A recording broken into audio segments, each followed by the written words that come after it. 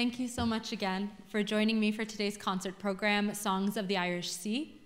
Francesca Federico is Sanamdom, Shauraint of Roina Ola Melelin Mahravshin Airing. My name is Francesca Federico, and I'd love to share with you the songs I've been working on during my time in Ireland. It's such a pleasure to be here at the Irish World Academy, and welcome to all the folks listening at home. I'd like to give a big thanks to the Fulbright Commission for being so supportive and making this whole experience possible. I would also like to thank the University of Limerick, and particularly my mentors, Sandra Joyce and Hannah Fahy. And finally, I'd like to thank my voice teacher, Irlo Lenord, as well as my collaborative pianist, Owen, and Claire, Ashling, and Connell, who are all sharing their talents with us today.